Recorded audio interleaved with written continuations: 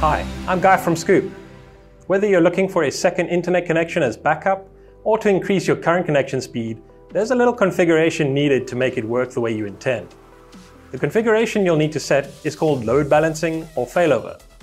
Load balancing and failover are technologies that help you achieve high availability on your network, and they're especially useful for businesses.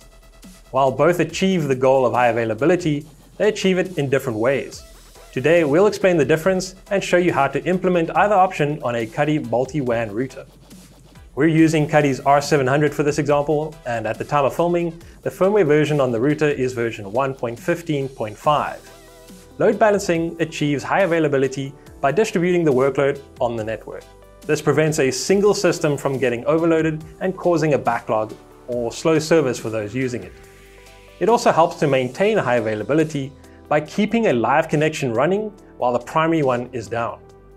For load balancing to work, you'll always need a router or gateway with at least two WAN ports. Let's start by logging into the unit via a web browser. Once in, navigate to General Settings, then go to the WAN mode. On this page, you'll see all the ports on the device. Here, you can convert specific LAN ports to WAN ports and vice versa. We'll change the last LAN port on the right to a WAN. Click Save and Apply. Since more than one WAN port exists, the load balancing options on the left have appeared and can be configured. Let's first configure the WAN to be active and connected. Select WAN settings and configure the WAN ports to reflect the type of connection that's coming in. In our demo, we have DHCP on WAN 1 and triple PoE on WAN 2. Once both are connected and running, let's go to the load balancing settings. On this page, it shows the available WAN connections and settings that will determine whether the connection is down or not and how quickly the router makes that decision. If you want to know more about these settings, follow the link to our blog below or watch our short video. These settings will affect you more if the connections are set up in a failover type configuration. For load balancing, we'll leave it as is. Next up is the Member tab. This menu displays all the available interfaces that will be used in load balancing or failover configurations. Here, you can name the connection so that it's easier for you to identify.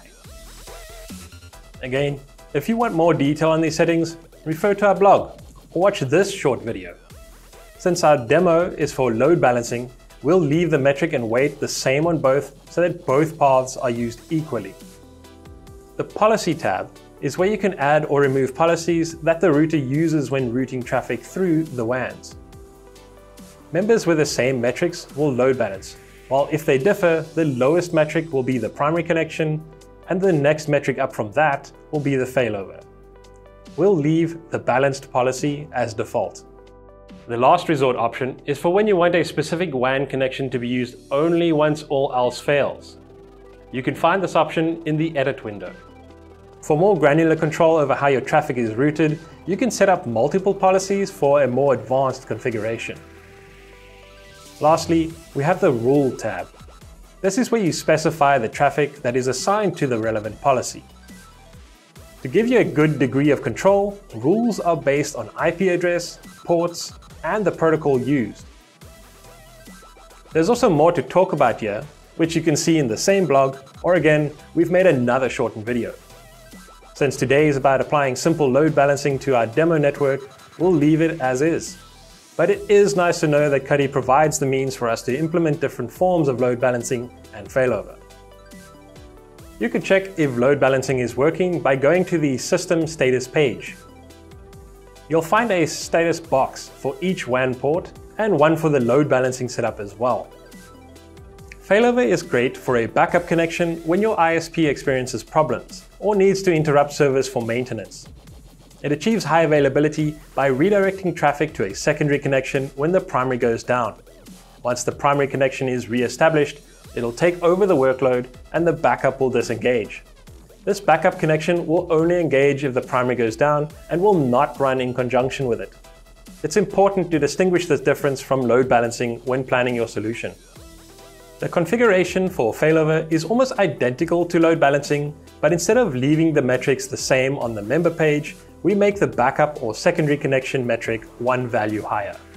If the primary connection metric is 1, make the secondary connection metric 2. We've changed the name to better reflect the updated metric on WAN 2. Technically, that's all you really need to do for a failover to work. We've edited the name of the policy to failover to better reflect what is taking place.